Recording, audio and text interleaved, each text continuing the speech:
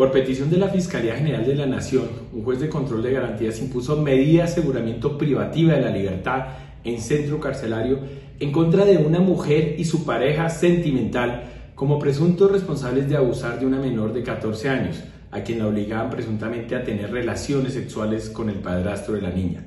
Según la investigación, la joven era, al parecer, abusada sexualmente dentro de su residencia, ubicada en la localidad de Bosa, por su padrastro desde que tenía apenas 11 años. Además, la menor aseguró en entrevista forense, después de que un familiar puso en conocimiento los hechos ante las autoridades, que el procesado habría iniciado con tocamientos sexuales y posteriormente la sometió a todo tipo de vejámenes hasta que cumplió los 13 años.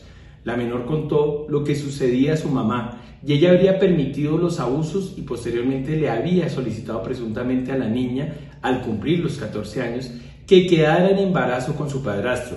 Ante la negativa de la menor, hubo una discusión y le indicaron que ellos cuidarían a esa bebé, ya que la madre no podía quedar en embarazo.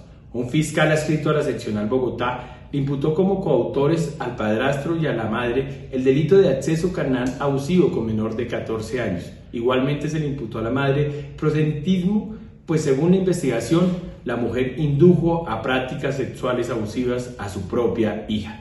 La fiscalía habla con resultados.